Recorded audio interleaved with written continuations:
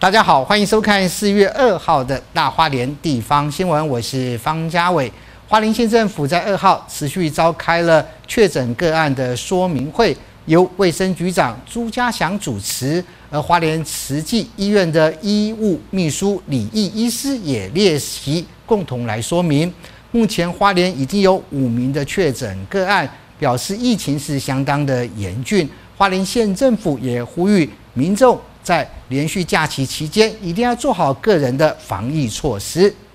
防疫记者会是由卫生局长朱家祥主持，花莲慈济医院医务秘书李毅医师列席。局长朱家祥也说明了今天五位确诊个案主机史以及疫调情况。而案二三八七八是学生外地感染一入，案二三八七九。货运公司货物整理员 CT 值达到三十一点二，而第五位个案二四零一七为高雄个案，有花莲旅游的足迹，CT 值为十五点九，并且在花莲待了三天，推估大约是在三月二十八号后感染，四月一号出现症状。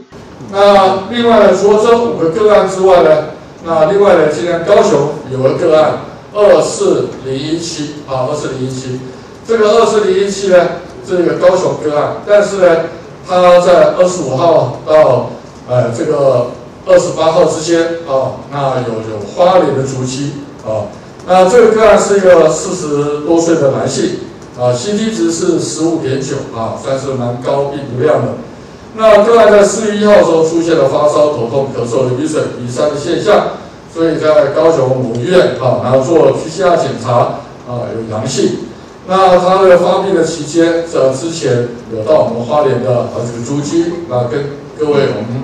啊详细报告。慈济医院医务秘书李毅也针对了目前慈济医院院内感染后的防疫措施进行相关的说明。可见呢，这个可能那个时候指标都要感染，那么但是还是在九呼吸。所以在三月三十一号，我们抗原快筛还是阴性，昨天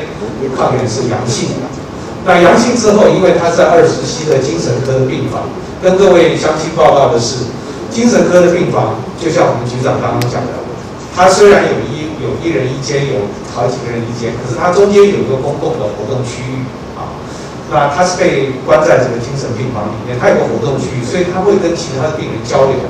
所以当我们发现他是一个阳性个案的时候，我们马上把他转到。二十栋专责的一个负压隔离床，也就是现在花莲慈济医院总共有七个个案受到这个儿科指标个案的影响。前面四位是急诊的同仁，那后面三位都是精神病房的这个病患。统计目前花莲居家隔离五十五位，自主管理二十八位。花莲医院至社区筛检站从三月三十号开始十二点到下午五点筛检，至今总共有两千零七十六人呈现阴性。记者林杰花莲市采访报道。